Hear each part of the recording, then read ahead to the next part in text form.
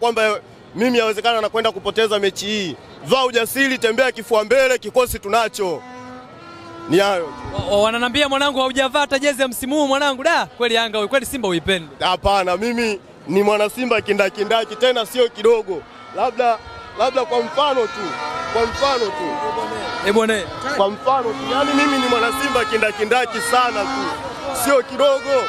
Mimi ni mwana Simba kindakindaki kaka, yani tena ni mjumbe ndani ya tawi la Mongola Ndege, ni mjumbe ndani ya tawi la mongo Mongola Ndege. Haya mambo tuliyoyafanya sisi, wao watani wenzetu wameshindwa kuyafanya mambo haya. Kutokuvaa jezi sio kana kwamba nimeshindwa kununua jezi, bado iko njiani kaka. bwana, sisi kutokea kila la heri, nenda ukashuhudie mnyama kule jinsi ambavyo atakufa au ataua. Asante sana kaka. Haina noma, bado tuko nao, tunawasaka bado. Huyu alikuwa shabiki wa Simba Sports Club, nataka wa Young Africans naye atuambie huko ndani huko patakuwaje, kwa sababu mtanange ni mgumu na bado mpaka sasa hatujajua nani ambaye ataibuka mshindi.